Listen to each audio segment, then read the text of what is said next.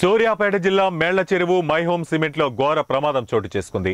My home cements నూతనంగా నిర్మిస్తున్న unit four plant వద్ద ప్రీ హీటర్ కప్ హోల్డింగ్స్ కూలీ ఐదుగురు అక్కడికక్కడే మృతి చెందినట్లు సమాచారం. శకలాల కింద పది మంది వరకు కార్మికులు ఉన్నట్లు తెలుస్తోంది. సూర్యాపేట జిల్లాలో నిర్మాణంలో ఉన్న సిమెంట్ పరిశ్రమలలో ఘోర ప్రమాదం చోటు చేసుకుంది. ఐదు వందల అడుగుల ఎత్తులో కాంక్రీట్ వర్క్ చేస్తుండగా లిఫ్ట్ కూలీ కాంట్రాక్టు కార్మికులు మృత్యువాత పడ్డారు.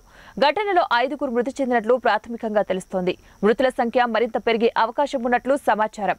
క్షతగాత్రులు ఉత్తరప్రదేశ్ బీహార్కు చెందిన వారు కాగా ప్రమాదంపై మై హోమ్ యాజమాన్యం గోప్యత పాటిస్తుంది. పోలీసులు ఘటనా స్థలానికి చేరుకుని ఘటనపై విచారిస్తున్నారు. ప్రమాద స్థలం వద్ద సుమారు ఐదు వందల మంది కార్మికులు పనిచేస్తూ ఉండగా కార్మికులు కార్మికులను పోలీసులు బయటకు పంపిస్తున్నారు.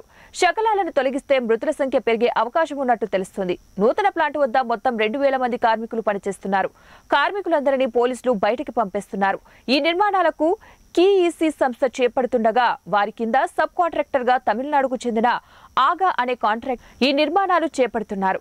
ఆగస్టు ఇరవై ఆరవ నాటికి పూర్తి నిర్మాణం చేయాలని గత కొన్నాళ్ళుగా కార్మికులపై ఒత్తిడి చేస్తున్నారు. ఈ నేపథ్యంలోనే సరైన భద్రతా ప్రమాణాలు పాటించకపోవడం వల్లనే ప్రమాదం చోటు చేసుకున్నట్లు తెలుస్తోంది.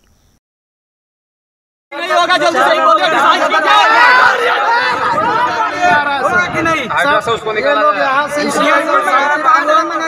सर यहाँ हटा दिया गया। कम से कम हम लोग उसको हटाया जाए। हाँ सर।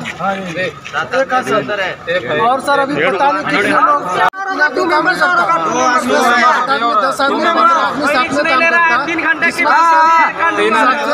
तीन आदमी और